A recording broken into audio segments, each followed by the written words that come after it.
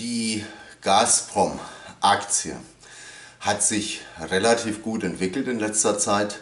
Wenn man bedenkt, 2018 war ja ein schwieriges Aktienjahr und äh, Gazprom ist eine Aktie aus den Schwellenländern, aus Russland und dafür hat sich die Gazprom-Aktie eigentlich in letzter Zeit überdurchschnittlich entwickelt. Und es läuft ja auch relativ gut oder eigentlich sogar ziemlich gut bei Gazprom, fast alles. Aber jetzt gibt es eben doch wieder gewisse Unsicherheiten, weil äh, sie wissen, Gazprom baut eine zweite Pipeline nach Deutschland, Nord Stream 2 und den USA, denen gefällt das nicht so. Die drohen da schon länger mit Sanktionen und jetzt hat der US-Botschafter in Deutschland auch die Firmen hier, die mit Gazprom zusammenarbeiten würden, direkt angeschrieben und er hat mitgeteilt.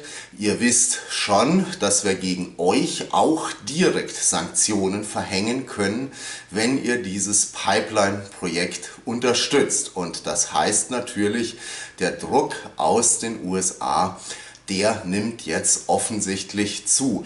Was heißt das für uns? Was heißt das für uns vor allem als Anleger, wenn wir vielleicht äh, Gazprom-Aktionäre sind oder das noch werden wollen unter Umständen? Und darum geht es heute. Willkommen bei Zukunftsmärkte.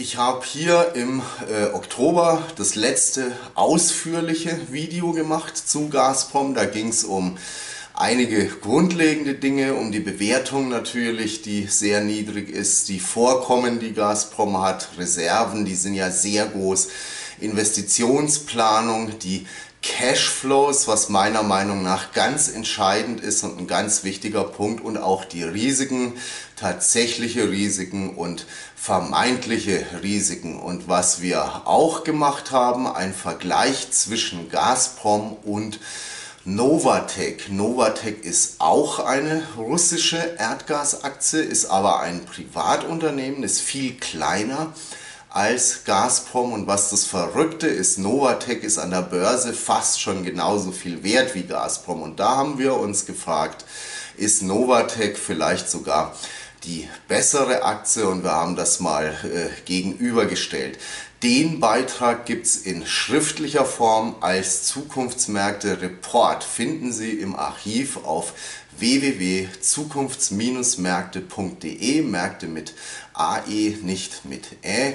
Und was wir da bei den Reports grundsätzlich machen, sind Analysen, hauptsächlich Einzelaktien, kommt regelmäßig und äh, ältere Beiträge dann im Archiv jeweils und das ist auch alles umsonst. Finden Sie bei www.zukunftsmärkte.de. Link hier auch nochmal unter dem Beitrag. Man muss sich nur einmal anmelden.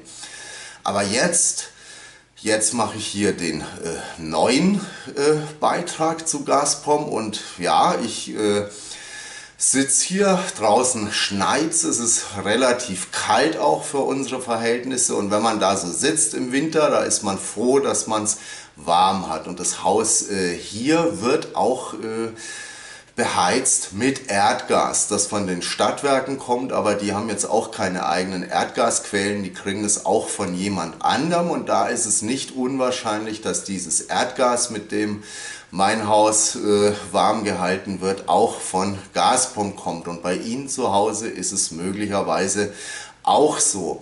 Der Marktanteil von Gazprom in Deutschland, der liegt bei 40 Prozent mit steigender Tendenz. Der Marktanteil wächst also trotz politischer Konflikte, die wir haben mit Russland.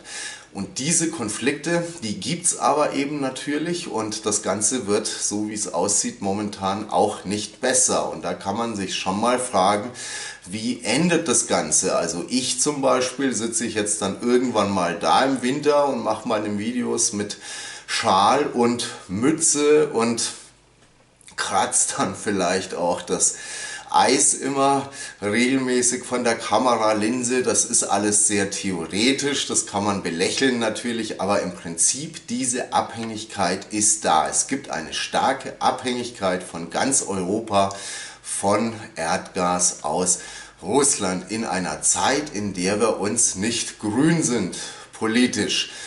Man muss fairerweise aber auch sagen, seit dem Ukraine-Konflikt es ist nie im Raum gestanden, dass Russland uns nicht mehr mit Gas beliefern würde. Das war nie ein Thema und ist nie angedroht worden. Auch Gazprom, Russland, die haben das nie ernsthaft in Frage gestellt, auch nicht im Ansatz. Und wenn man die Versorger hier bei uns fragen würde, die das Gas haben wollen äh, aus Russland, also die OMV, Winterschall, Uniper, die würden einem sehr wahrscheinlich sagen, Russland ist für uns kein riskantes Lieferland. Russland ist ein sicherer Gaslieferant. Da haben wir Sicherheit und das zeigt auch die Erfahrung seit Jahrzehnten. Auch im Kalten Krieg war es schon so, trotz aller Probleme, das Gas kommt immer. Russland ist in der Hinsicht zuverlässig. Aber grundsätzlich trotzdem die Abhängigkeit ist da und ich zeige Ihnen hier nochmal Marktanteil von Gazprom in Europa. Gazprom ist hier hellblau. Wir haben ganz unten die europäische Eigenproduktion von Erdgas, die schrumpft. Und in Türkis haben wir Flüssiggasimporte, die steigen auch nicht, so wie man sich das vielleicht denken könnte, sondern der Marktanteil von Flüssiggas geht hier auch zurück. Aber Gazprom der Gazprom-Marktanteil, der steigt, der steigt deutlich und zwar trotz der Ukraine-Krise, die ging los 2014 und trotzdem Anstieg Marktanteil von 2012 bis 2017 von 26% auf 35%. Das ist viel, das ist mehr als ein Drittel.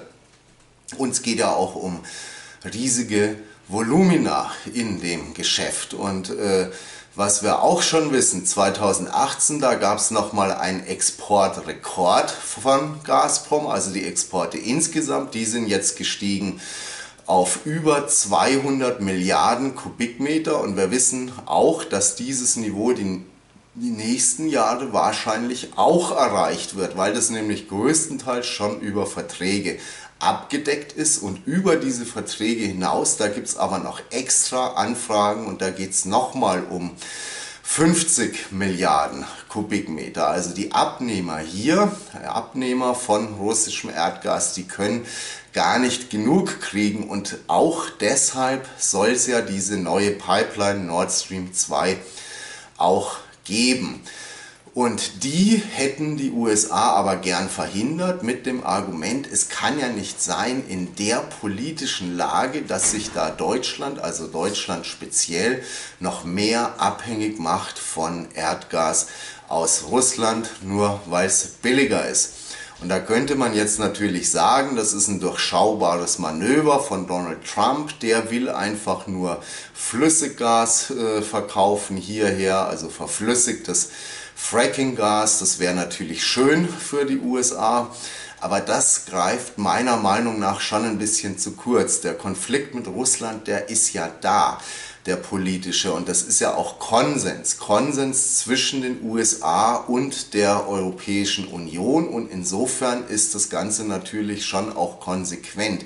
Es macht ja keinen Sinn, wenn man Sanktionen gegen Russland verhängt, einerseits, und wenn man dann aber andererseits zusammen solche Pipelines baut. Und das ist auch nicht nur eine Idee vom Weißen Haus, von Donald Trump, sondern das ist durchaus parteiübergreifend in den USA, dass man das so sieht. Und was das Flüssiggas betrifft aus den USA, es gibt hier Terminals in Europa, es kommen auch neue dazu noch für Flüssiggas, aber das funktioniert momentan sowieso noch nicht so richtig. Das US-Flüssiggas ist relativ teurer, wie gesagt, teurer als äh, Gas, äh, Pipeline-Gas von Gazprom und das meiste Flüssiggas aus den USA geht ja auch nach Asien momentan. Da ist die Nachfrage sehr hoch, die steigt auch, da sind auch die Preise höher und solange das so ist und äh, wahrscheinlich bleibt es auch erstmal so, werden die USA überwiegend Asien beliefern und es wäre hier für die USA sowieso auch kein großartiges äh, Geschäft. Und äh, die Vereinigten Staaten sind auch nicht die einzigen, die gegen Nord Stream 2 sind. Das ist ja schlecht, äh, diese Pipeline zum Beispiel für die Ukraine auch. Es geht da ja auch um die Umgehung der Ukraine als Transitland für Erdgas. Dann äh, Polen hat protestiert gegen die Pipeline, die baltischen Länder haben protestiert, Dänemark, wir haben jetzt zehn Länder insgesamt allein in der EU schon, die gewarnt haben, eindringlich vor dieser Pipeline. Plus dazu noch die EU-Kommission, die eigentlich auch dagegen ist oder die zumindest auch ihre Bedenken hat. Und das äh, Bemerkenswerte an der ganzen Geschichte ist ja nicht, dass die alle was dagegen haben, gegen die Pipeline, sondern dass Deutschland das trotzdem durchziehen will. Auf Biegen und Brechen, Deutschland will die Pipeline unbedingt und verteidigt die schon immer vehement. Hat sich ja auch einen Kleinkrieg äh, äh, geliefert, ein Regelrecht mit der EU-Kommission, als es da um die Zuständigkeit ging für diese äh, Pipeline und auch sonst. Deutschland verbittet sich da eigentlich schon lange jegliche Einmischung. Und jetzt haben wir eben die Situation, dass der Ton schärfer wird. Das wundert einen natürlich auch nicht, dass da der Ton mal scharf wird bei der Regierung. Aber es ist auch umgekehrt so und die Lage ist nach wie vor so. Es sieht nicht so aus, als wäre Deutschland da gewählt von seinem Standpunkt abzurücken. Und Angela Merkel, die hat erst jetzt auch in Davos wieder gesagt, also wir steigen aus der Kernenergie aus, wir steigen aus der Kohle aus, wir brauchen jetzt mehr Erdgas. Und das wird weiter aus Russland kommen, vielleicht auch eines Tages mal aus den USA irgendwann, aber Insofern klare Ansage von der Kanzlerin, Deutschland will diese Pipeline, auch wenn sie das so direkt nicht gesagt hat.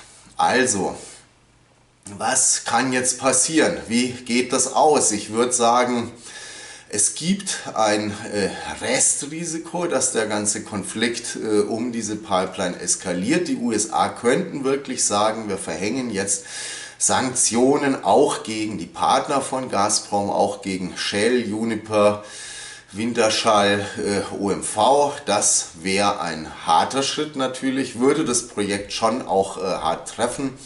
Gazprom hat zwar mal gesagt, zur Not finanzieren wir die Pipeline auch allein. Das nimmt von den Partnern dann schon den Druck weg, die sind dann keine Projektpartner mehr, aber es würde dann schon schwieriger werden und äh, das Ganze ist immer noch irgendwie möglich. Die USA sind da relativ unberechenbar zurzeit, aber es hätte natürlich auch Folgen, weil umgekehrt, wie gesagt, die Bundesregierung, die zeigt da auch schon seit Jahren, dass sie da ganz empfindlich ist bei dem Thema und die Reaktion wäre dann eben auch dementsprechend. Mich hat das auch immer wieder überrascht eigentlich die letzten Jahre, wie rigoros Deutschland da ist, wenn es um diese Pipeline geht. Aber äh, Deutschland äh, steht auf diesem Standpunkt und wahrscheinlich bleibt das auch so. Meine Vermutung ist, äh, wie gesagt, ein gewisses Restrisiko ist da, aber am Ende werden Russland und Deutschland diese Pipeline wohl durchpauken. Und es ist auch schon relativ spät, wenn man die jetzt noch stoppen will. Die Genehmigungen sind durch, es wird auch schon lang gebaut. Die Rohre unter der Ostsee, die werden verlegt, also es wäre teuer und es wäre natürlich auch irgendwo äh, relativ absurd, auch wenn man den Bau da jetzt noch abbricht. Es hätte hohe wirtschaftliche Kosten, es hätte hohe politische Kosten und darum, ich glaube nicht so richtig, dass man das wirklich stoppt. Das wäre schwierig und es wäre ein entsprechender politischer Flurschaden, auch nochmal mit viel Verstimmung, auch innerhalb äh, des westlichen Bündnisses. Was Gazprom selber betrifft, auch da wäre der Schaden natürlich groß, also es wäre ein Milliardenschaden, aber der würde Gazprom jetzt auch nicht umbringen. Man kann Westeuropa immer noch versorgen mit Erdgas, mit den bestehenden Pipelines. Es wäre wahrscheinlich aber, äh, äh, was die zukünftige Expansion betrifft, dann schon schwieriger. Und von der Strategie her wäre es wahrscheinlich auch so, dass Gazprom sich dann etwas abwenden würde, zumindest von Westeuropa und sich eher verstärkt dann äh, hinwenden würde in Zukunft nach Asien, nach China. Das macht man natürlich jetzt schon, aber das käme wahrscheinlich noch äh, verstärkt dann. Und wir haben hier mal äh, ein Jahreschart von Gazprom in Euro. Und da sehen wir äh, äh, diese Drohungen aus den USA. Das war ja in den letzten Wochen erst. Da hat der Markt auch überhaupt nicht darauf äh, reagiert. Stattdessen haben wir sogar einen deutlichen Anstieg wieder in den letzten Wochen. Der Markt offensichtlich, der glaubt also auch nicht dran, dass das bedrohlich ist, diese Situation und dass das irgendwie Konsequenzen hat, die schwerwiegend sind für Gazprom. Vielleicht sieht man es zu locker am Markt, weil man da denkt, naja, bis jetzt ging das noch immer gut mit Gazprom. Gazprom ist da noch nie was passiert. Vielleicht nimmt er das zu wenig ernst, aber äh, wir können zumindest mal festhalten, der Markt nimmt es nicht ernst.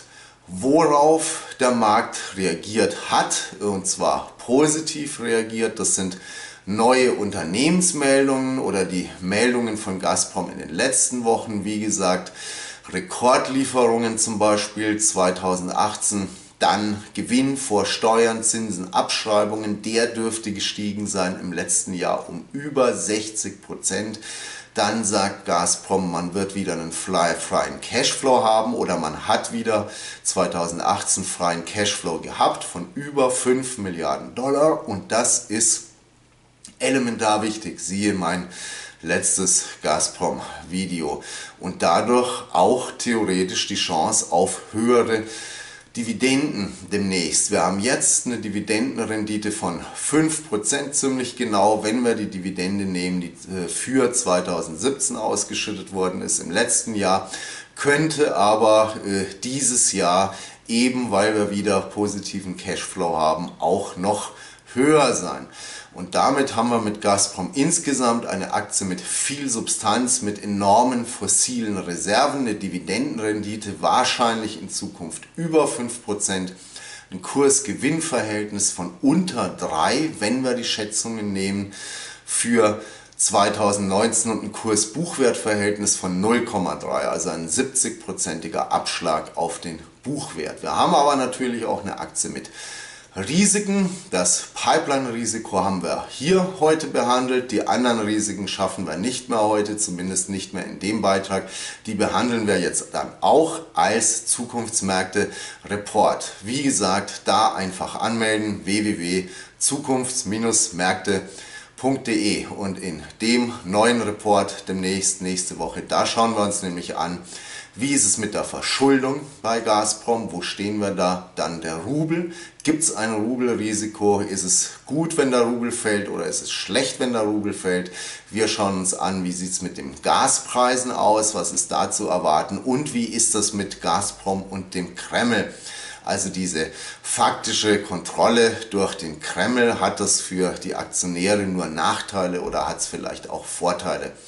Das alles, wie gesagt, zu dieser sehr spannenden Aktie im nächsten Zukunftsmärkte-Report. Und hier, hier auf YouTube, da sehen wir uns nächste Woche wieder, wenn Sie wollen.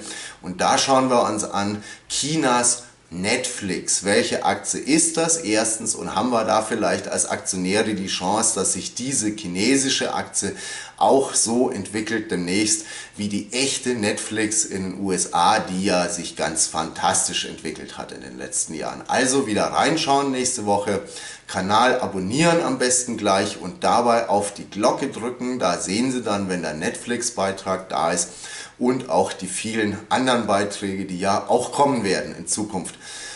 Und was Gazprom betrifft, wir als Anleger, wir werden das große Weltgeschehen nicht ändern, sehr wahrscheinlich. Was wir tun können, ist, dass wir uns informieren, immer regelmäßig, dass wir versuchen zu investieren, da wo wirklich Wertschöpfung stattfindet und vielleicht ist der eine oder anderen von Ihnen ja auch investiert bei Gazprom. Und wenn sie es nicht sind, dann hoffen wir trotzdem alle auf Gazprom und drücken uns die Daumen, dass uns Gazprom zumindest auch in Zukunft noch die Hütte heizt.